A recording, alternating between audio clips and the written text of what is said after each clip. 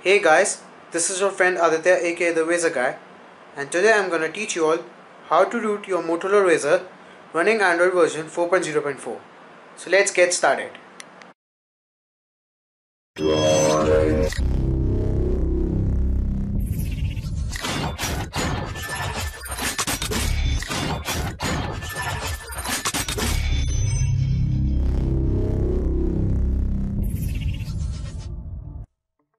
Guys, before rooting your device, I need to tell you that this root works for those people who had got SuperUser already installed on their device when they upgraded from Gingerbread to Android 4.0.4 because the other methods which have already been made for the root do not work on their device because the permission isn't allowed as the SuperUser installation script doesn't work properly. So this new root method was created by Matt Groff and he has really helped us guys. In order to root your device, just simply download the root tool given in the description. Then make a new folder on your desktop saying root tool. Then extract the tool which you have downloaded in that root tool folder which you have just made. After you have extracted the root tool on your desktop, the next thing which you need to do is connect your device via USB to the PC. Before connecting your device via USB to the PC, just simply go into your system settings, go into developer actions and from there choose USB debugging on and allow mock locations. Then connect your device via USB to the PC. And when you connect your device via USB to the PC, choose MTP mode that is media device mode. After you have connected your device by USB to the PC, the next thing which you need to do is open the root tool folder, go into drivers and install the drivers depending upon the version of your Windows. Once you've installed the drivers, then go, go back to the tool and double click the ADB application. Then just simply click on Droid Razr root 4.0.4 if you have already superscript file. Then press any key to continue. The device, the tool will do the work on its own. So just patiently and relax.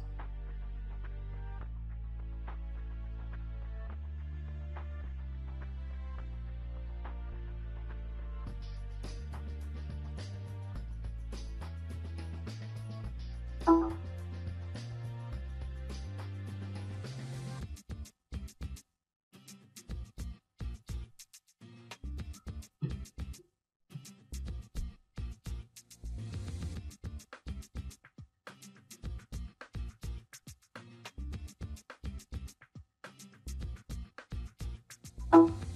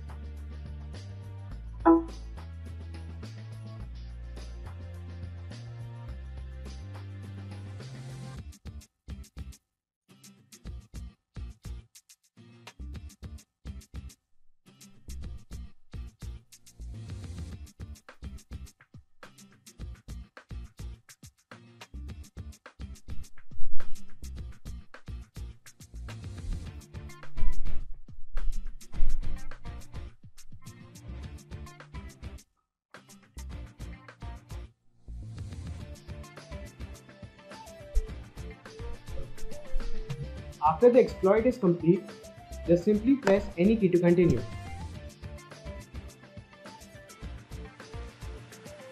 After the exploit is complete, just simply go back to your device, unplug the USB and open any root app to check whether root is working or not. And here you can see the root is perfectly working on the device now. I hope you guys liked my video. Please comment and subscribe. Thank you.